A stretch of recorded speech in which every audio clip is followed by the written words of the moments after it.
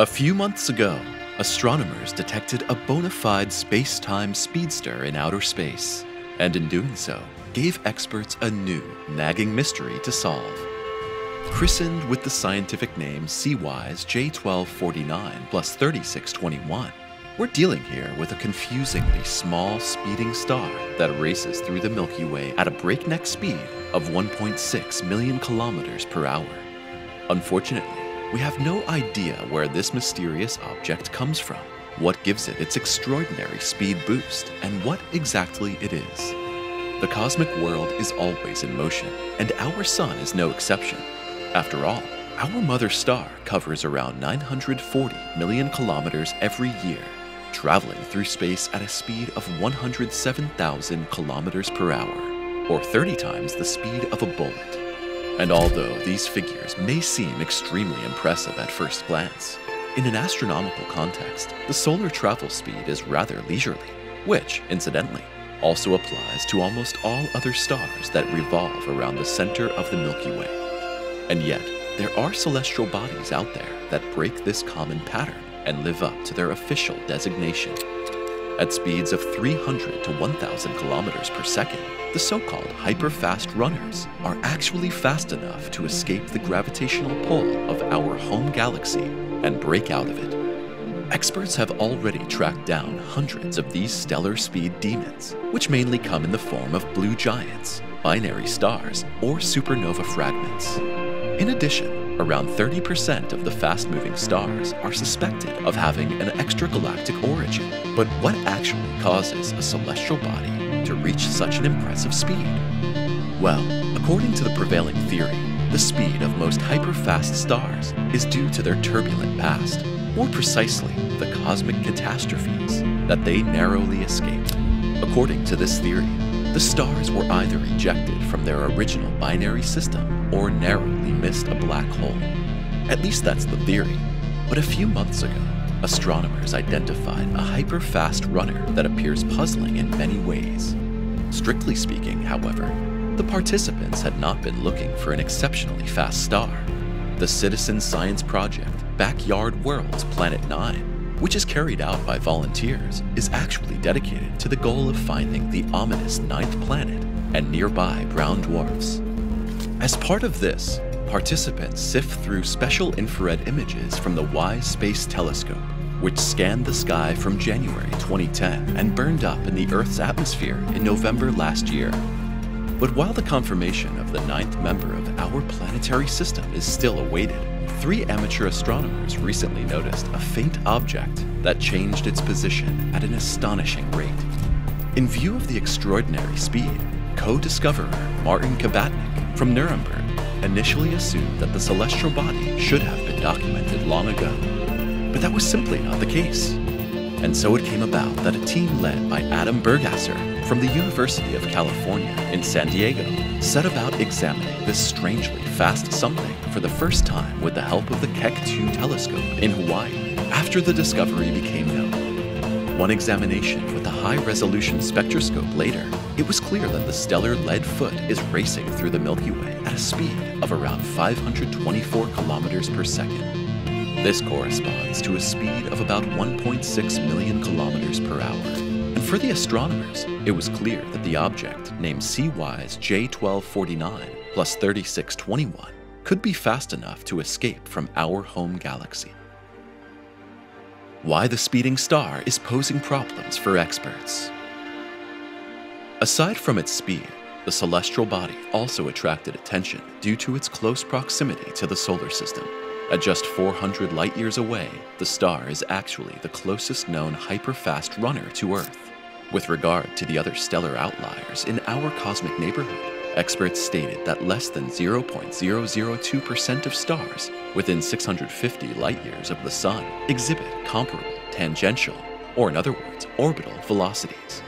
In the same breath, however, the trajectory of the racer also runs transversely to that of most other stars, this means nothing other than that it's currently heading for the center of our galaxy. We'll pass it at a distance of around 3,000 light years and will ultimately fly out of the Milky Way.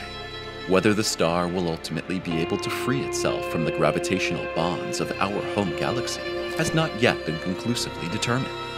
While a good 15% of the forecasts indicated a final farewell from the Milky Way, the rest pointed to an eccentric, far reaching orbit lasting 3 billion years. But the star itself appears even more surprising. Spectrographic studies revealed that it weighs only about 0.083 solar masses, making it unusually small. The majority of the previously known hyperfast runners have between 3 and 8 solar masses, and in detail, the newly discovered object is actually just above the mass limit that allows a star to ignite and sustain hydrogen fusion. In light of this, experts estimate that the modest runner could either embody a faint subdwarf or a brown dwarf. The latter occupy a special position between stars and planets and are also known as failed stars. But in addition to the unresolved identity, scientists are also puzzled by the unusual composition of the compact hyperrunner. The analyses showed that it's very metal poor and, in addition, contains only a few heavier elements than hydrogen and helium. This special composition suggests that we are dealing with a very old celestial body, possibly even a member of the very first generation of stars in the Milky Way. But what, and this is perhaps the crucial question, has turned this little Methuselah dwarf into a hyper-fast runner at all? On exploding white dwarfs and cosmic bowling. Well, the researchers have not yet found a definite answer to this question, but at least the trajectory and the properties have allowed them to play through a few conceivable scenarios.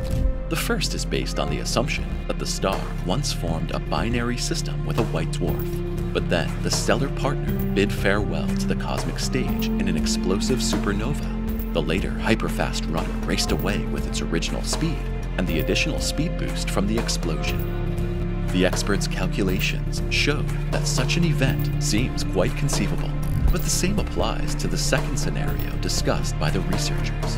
In a nutshell, the fast racer became a victim of a cosmic bowling alley, and in a little more detail, it originally belonged to a globular cluster, in the densely populated centers of which stars and black holes are very close together and occasionally get in each other's way. As a result, the objects can also bowl each other out of their orbits, and if a star gets too close to a pair of black holes, it can even be hurled completely out of the globular cluster. The unusual trajectory of the hyperfast runner could be explained in this way, but even if this assumption is correct, we have no idea which globular cluster the object involuntarily left. This is for the simple reason that no known globular cluster lies on the reconstructed flight path of the racer. Equally unresolved is the question of whether the star may have once come into close contact with Sagittarius A star, the central black hole of the Milky Way, and was consequently thrown off its original orbit. As we can see, the true background of the speeding dwarf is still overshadowed by many big question marks. And to find out what story it has really lived through, further physical and atmospheric analyses are essential. After all, each of the discussed scenarios should have left typical element traces in the gas envelope of the star. The discovery of such chemical fingerprints would therefore be a major step in helping us to unravel the secrets of the stellar heavy foot. However, only the future will tell to what extent astronomers will succeed in this endeavor. But if we turn our gaze to the past instead, we see that a star has even been detected that turns even the one just discussed into a snail. The fastest star in the Milky Way. Because, let's be honest, what are 1.6 million kilometers per hour compared to 86 million kilometers per hour? Yeah, you heard right. In 2020, astronomers discovered a celestial body, S4711, that is orbiting the Milky Way's central black hole at an almost unbelievable speed of 24,000 kilometers per second. That's up to 8% of the speed of light, and it takes just 7.6 years for S4711 to complete a full orbit around the central black hole. Detected in the observation data of the Very Large Telescope in Chile, the Record Racer only reaches its maximum speed in the immediate vicinity of the central gravitational monster. Away from it, its average orbital speed is only 0.5% of the speed of light. But beyond that, and this is exciting, S4711 could belong to a class of stars that so far only exists on paper and embody a so-called squeezar. In theory, these are stars that orbit a supermassive black hole on extremely eccentric orbits and are therefore heated up by its tidal forces as they approach before they cool down again as they move away. As a result, squeezars can heat up to several thousand degrees, and indeed, the analysis of S4711 showed that it has a peak temperature of around 10,000 Kelvin, almost twice as hot as the surface of the Sun. But the bottom line is that S4711 is not the only star that has been found in the vicinity of our black hole. But how is that even possible? After all, the tidal forces of the mass monster are so strong that no stars should form there at all. Well, according to the experts, they probably aren't, but were captured and held in the corresponding zone afterwards. It's conceivable that the stars originally belonged to double systems that came close to the black hole and were torn apart. One star was captured by the gravitational monster, while the other was flung out and has since been traveling through the Milky Way as a hyper-fast runner. And now you can continue your journey through YouTube as a hyper-fast clicker Simply press the thumbs up and subscribe now to never miss a new video from us again. We'll see you soon.